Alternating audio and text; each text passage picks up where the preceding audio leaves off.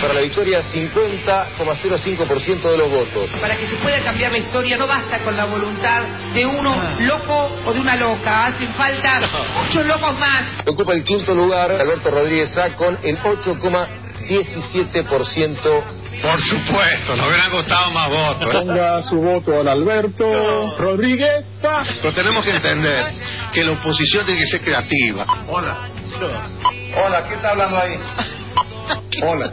Y nosotros en San Luis pudimos presentar las cosas, ganamos con ideas. Wi-Fi. ¿Qué pa-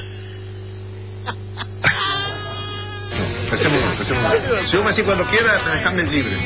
No se muevan ni me empiecen allá. Yo cuando quiera. Dame la libertad. Mi compromiso.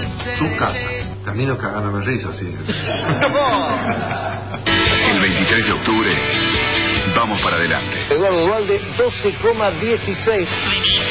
Yo creo que vamos a aceptar claramente en segunda vuelta a partir del, de octubre. ¡Buenísimo! A todos quiero decirles que sé lo que hay que hacer. Quiero decirles que van a ser respetadas las monedas en que hicieron sus depósitos. A los que ven la crisis mundial y se preguntan, ¿qué está haciendo el gobierno para prevenir? Es decir, el que depositó dólares recibirá dólares.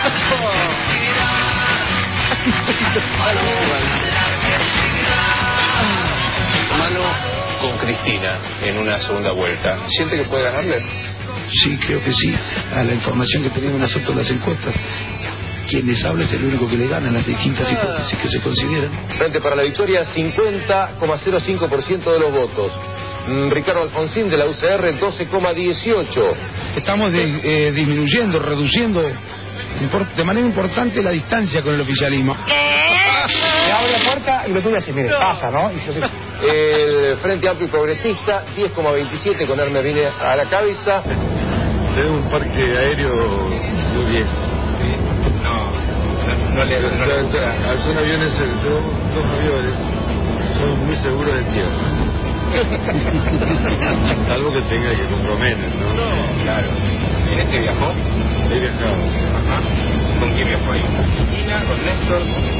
con Cristina, con Néstor y con Mena. Ajá. ¿Y, ¿Y con quién se divertía más? Vienen a pesar de muchas cosas, digamos, criticables, observables, es una persona muy agradable. ¿Cómo? Es una persona muy agradable.